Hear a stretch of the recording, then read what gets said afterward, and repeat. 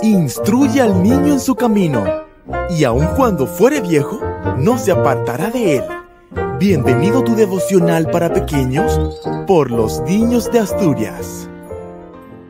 Buenos días niños, la matutina de hoy, día 29 de marzo del 2024, se titula Aguas convertidas en sangre el versículo se encuentra en Éxodo 7:20. Y toda el agua se convirtió en sangre.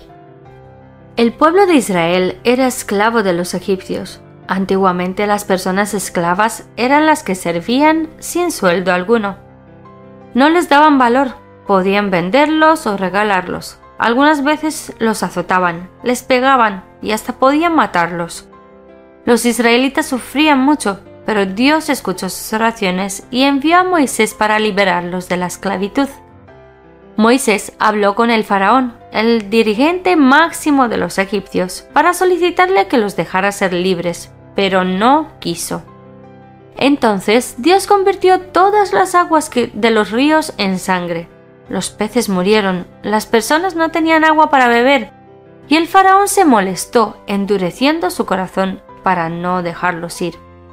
La historia pronto se repetirá, pues Jesús vendrá para liberarte de este mundo de esclavitud, pues se encuentra lleno de dolor y pecado. Él desea llevarte al cielo para que vivas feliz. Querido Padre, gracias porque vendrás a liberarme pronto. Como actividad de hoy, investiga con mami las 10 plagas de Egipto, que se encuentran en Éxodo 7 al 11.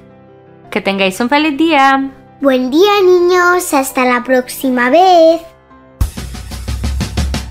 Esta fue una presentación de Canaan Seven Day Adventist Church y DR Ministries. Escríbenos a d-ramos28 hotmail.com.